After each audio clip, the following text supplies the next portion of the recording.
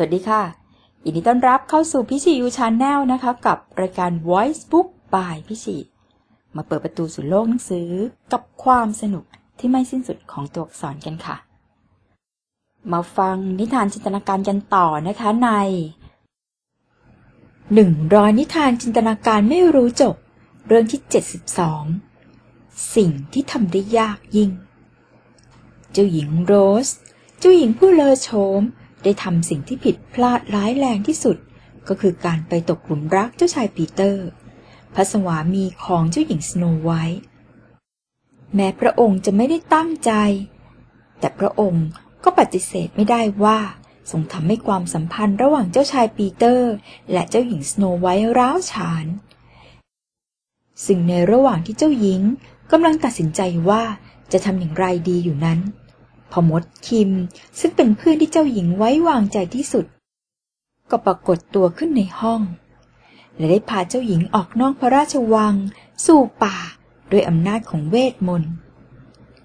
ข้ารู้ว่าเกิดอะไรขึ้นกับเจ้าหญิง เจ้าหญิงกำลังเศร้าข้าสัมผัสได้ถึงความเศร้านั้น พ่อมดพูดด้วยท่าทางสบายๆ หลังจากที่ทั้งสองมาอยู่ในป่าตามลำพัง ท่านก็รู้ใจข้าเช่นเดิมนะ เจ้าหญิงว่าพรางยิ้มเศร้า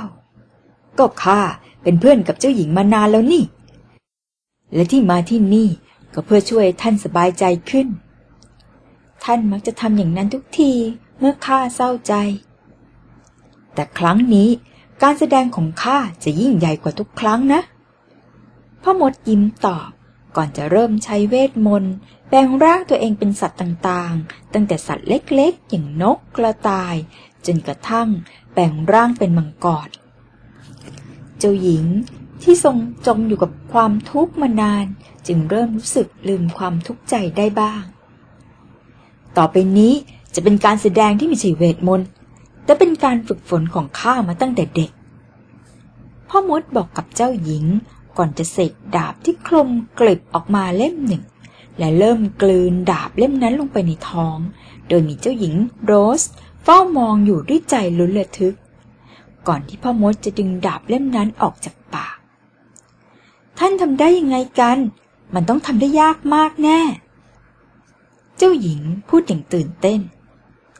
สิ่งที่ข้าแสดงให้เจ้าหญิงดู อาจจะทำได้ยากก็จริง แต่มีสิ่งหนึ่งที่ทำได้ยากมากกว่า และเจ้าหญิง ก็ทำสิ่งที่ยากกว่านั้นได้เสียด้วย ท่านพูดเรื่องอะไรกันข้าไม่เข้าใจเลย เจ้าหญิงทำหน้าสงสัย การเสียสละยังไงล่ะเจ้าหญิง พ่อมดพูดด้วยน้ำเสียงจริงจัง การเสียสละเพื่อความสุขของผู้อื่น โดยเฉพาะคนที่เรารักนั้นทำได้ยากยิ่งกว่าการกลืนกินดาบของข้าเสียอีก การฝึกกลืนดาบของข้านั้น เกิดขึ้น เพราะจิตที่ต้องการจะเห็นผู้อื่นชื่นชมตัวเอง แต่การเสียสละที่ไม่ต้องการทำเพื่อตนเองนั้น จะมีใครสักกี่คนบนโลกที่สามารถเสียสละสิ่งที่ตนเองรักให้กับผู้อื่นได้ ดังนั้น เจ้าหญิงจึงได้ชื่อว่า ได้ทำสิ่งที่ยากที่สุดได้แล้ว ท่านคิดว่าข้าจะทำเช่นนั้นหรอ เจ้าหญิงจ้องหน้าพ่อหมดคิม เจ้าหญิงเป็นคนดีแล้วก็คนเก่ง เจ้าหญิงจะเลือกทางที่ถูกต้องสำหรับตัวเองเสมอ พ่อมดกล่าวด้วยสีหน้าที่เชื่อมัน่น การเสียสละคือสิ่งที่ทำได้ยาก ยากยิ่งกว่าสิ่งใดบนโลกนี้ เจ้าหญิงลำพึง แต่ไม่ยากเกินกว่าที่เราจะทำได้ พ่อมดให้กำลังใจ ขอบคุณมาก พ่อมดคิม ท่านเป็นที่พึ่งของข้าเสมอ เจ้าหญิง สูดลมหายใจเพื่อเติมพลังให้กับตนเอง ส่งข้ากลับวังเถอะข้าต้องทำสิ่งที่ควรทำได้สิเจ้าหญิงพ่อมดรับคำก่อนจะใช้เวทมนต์ส่งเจ้าหญิงโรสกลับวัง ซึ่งเจ้าหญิงโรสก็ได้เดินทางกลับเมืองของตนเองในวันรุ่งขึ้น พร้อมกับการเสียสละที่ยิ่งใหญ่ จินตนาการสอนให้คิด การเสียสละ ไม่ใช่สิ่งที่ใครๆก็สามารถทำได้ โดยเฉพาะการเสียสละในสิ่งที่ตัวเองรัก ดังนั้นคนที่เสียสละย่อมได้ชื่อว่าทำสิ่งที่ยากกว่าสิ่งใดบนโลกใบนี้ ขอบคุณ